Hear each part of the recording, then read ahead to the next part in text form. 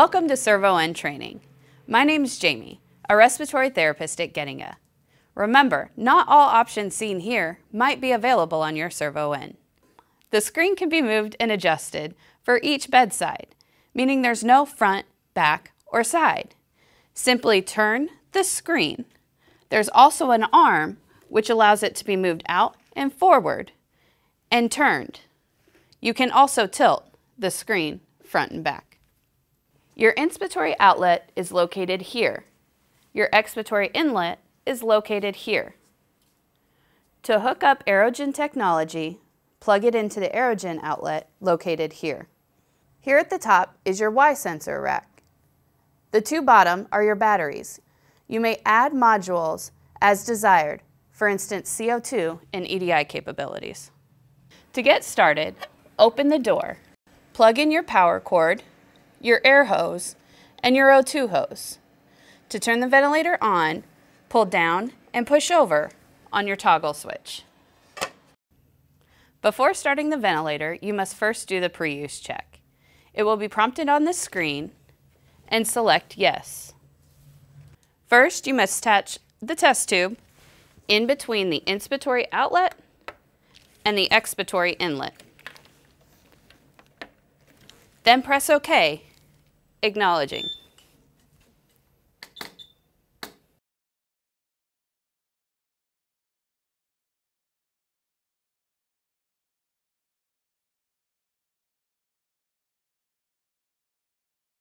During the battery switch test, you'll need to unplug the ventilator and then plug it back in. Unblock the circuit and select OK.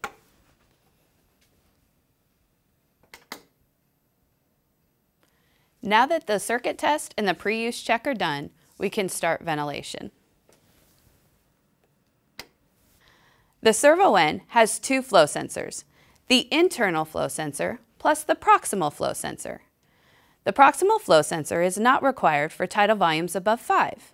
For tidal volumes less than 5, it is recommended to use it to ensure accurate volumes and trigger sensitivity. Plug in the module into the side. Attach the cable and the flow sensor to the cable. You will then be directed by on-screen tutorials, as this needs to be done before using. Block the Y and press calibrate. Touch OK and then you're ready to start. Attach your flow sensor to your circuit.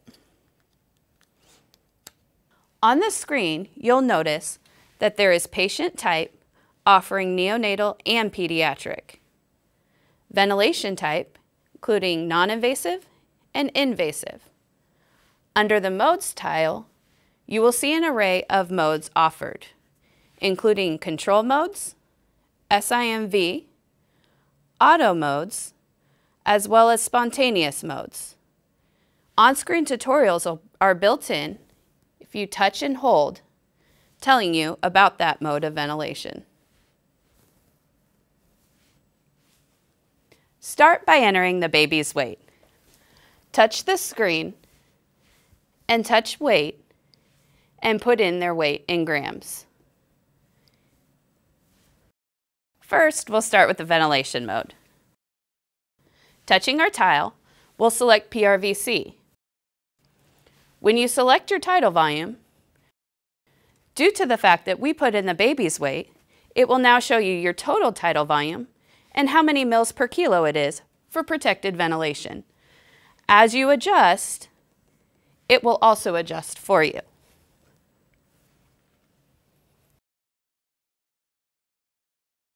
To start ventilation, press Start. You'll notice on the screen, your mode is located up here, your quick access settings at the bottom, and your patient measured values are on the right, with your menu tiles being located on the left. To make a quick setting change, select your setting and adjust. You'll notice when you get outside the default range, it will turn yellow, alerting you if you'd like to continue, press the plus sign and continue, or go back to where you were. There are three types of alarms, Red is high priority, yellow, medium, and blue, a low priority. As you can see over here, the low minute ventilation is alarming here. You can make the adjustment on the screen and hit your check mark to confirm. Same thing with the medium priority. At the top, if you touch, an explanation of the alarm as well as basic troubleshooting advice will be displayed. To adjust, do the same thing and hit your check mark to accept. All of your alarms are located underneath your alarm tile on the side. You can see at the top anything that is an upper alarm limit and anything is a lower alarm limit. Your white arrows indicate what your patient's currently doing. At the bottom is an auto set feature. If you touch it, it will automatically adjust your alarms based on what your patient is doing. You can also silence some audible alarms. For instance, here you see the bell at the bottom indicating you can silence the audible. Touch it to silence and accept. To see your patient triggering the vent, it is indicated at the top with the lungs flashing. You will see a white mark on your flow scalar if it's set with a flow trigger. In order to adjust that to a pressure trigger, simply click on your mode and select trigger. You'll notice a built-in tutorial is down at the bottom, currently with the flow trigger. If we move to the side, you will now notice a pressure trigger indicated here. If we accept this, you will notice my white now moves up to my pressure scalar.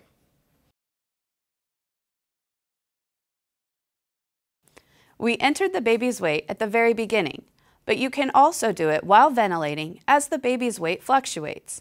Do this by touching the same spot and adjusting your weight. As you do this, the vent will also calculate breath by breath mils per kilo and be trended in your trends as well. You'll also note next to your volumes, you will have an S symbol indicating that the tubing compensation is there and that you're delivering accurate volumes. Leak compensation is available in neonatal and invasive ventilation on the Servo-N. It's indicated over here with the lock on your volumes. You will also see the leakage calculated at the bottom. Remember, the volumes that you're seeing are the corrected volumes. Also, when you look at your alarms, you will notice at the bottom, it will say leakage alarms. You can turn off the audible for this simply by pressing the audible and hitting yes and accept. You can also do an oxygen boost located at the bottom. Touch and hold till the blue bar goes across. It will deliver a minute's worth of that O2 and silence your alarms for a minute. If you'd like to stop, hit your red X and it will cancel that and your alarms. You can also adjust the amount of oxygen you're giving to your baby. Do this by selecting your maneuvers tile and going to your O2 boost level. You'll see that you can adjust the increment. So when set at 10, you'll notice this is set at 10 above your set FiO2. As you adjust your oxygen, you'll notice your O2 boost will also change. Also located underneath your maneuvers tile is your manual breath. Select your maneuvers and manual breath. Every time you touch it, it will deliver your set settings to the patient, touching and delivering a breath. Also located underneath this tile are your inspiratory and expiratory holds. Select static measurements and inspiratory hold. When you touch, it is active. And you can also do an expiratory hold. When it beeps, it is active. Aerogen is built into every single ventilator and is accessed underneath your nebulization tab. Once you select it, you will then plug in your Aerogen located on the side of the vent. You will see that there is an intermittent or continuous.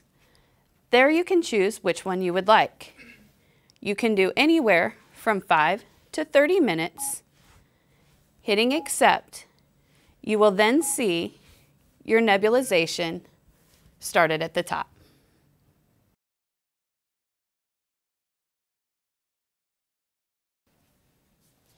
The trends and logs are located in the menu screen. Select Trends and Logs. At the top will be your trends. You can look anywhere from an hour up to 72 hours of time by selecting on the side. You'll notice your trended values.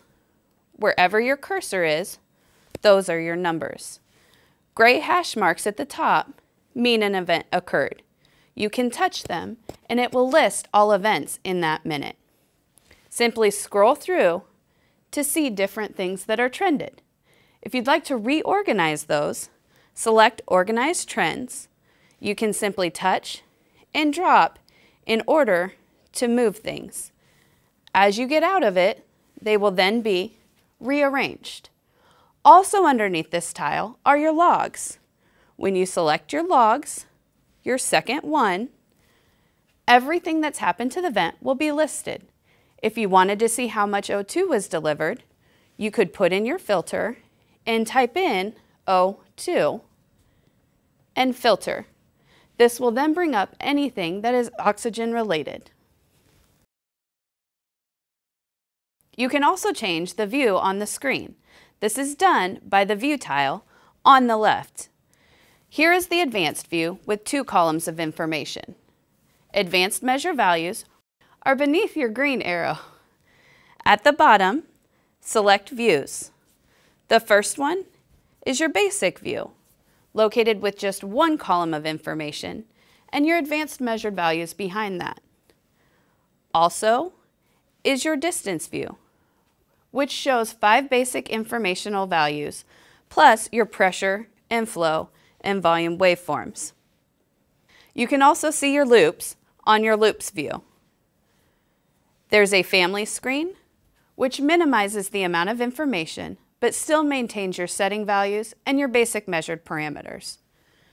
The bubbles mean ventilation is occurring and will still alarm.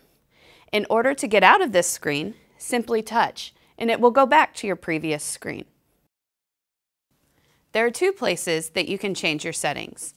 First, by touching your mode and seeing the screen. Certain settings will have tutorials built into them showing you and telling you what you are adjusting before you adjust it. There's also an eye indicating information is behind it telling you about that setting. In order to, to accept, press your green check mark. You can confirm here. You can also quick access them at the bottom of the screen by touching your setting, making your adjustment, and touching your green arrow. If you would like to change your mode, along the tile on the left, you would touch modes. Here you would see any mode that you could change to. You'll note on pressure control is an arrow. That means that this was the previous mode used. At the bottom is a time and date stamp letting you know when it was changed. If you'd like to go back to those settings, you can touch your mode and accept the settings that you were on previously. At the bottom, you'll notice there's high flow therapy. You can access it without having to go into standby. Simply touch high flow therapy. Put in your settings. Note at the bottom, when you hit continuous, ventilation will stop in order to start high flow therapy. The upper bar will also turn green, indicating high flow. It is possible to lock the screen, for example if you're cleaning or on transport. At the very bottom, touch Lock Screen and then hit Continue. This will lock the screen so that no settings can be adjusted. In order to unlock it, simply touch your unlock, touch and hold till the blue bar goes across. You can add Servo Compass to the other screens by touching and holding on your scalar. In the bottom, simply check servo compass. This is also where you can fill in your scalars, and you'll note the changes have occurred. If you'd like to disconnect the baby for a brief moment, select the disconnect tile. Here, it will pre-oxygenate your baby for up to two minutes once you accept. You can then disconnect your patient and ventilation will pause. Once you reconnect, ventilation will resume and post-oxygenate the baby. Remember, this is not to be used with closed suction.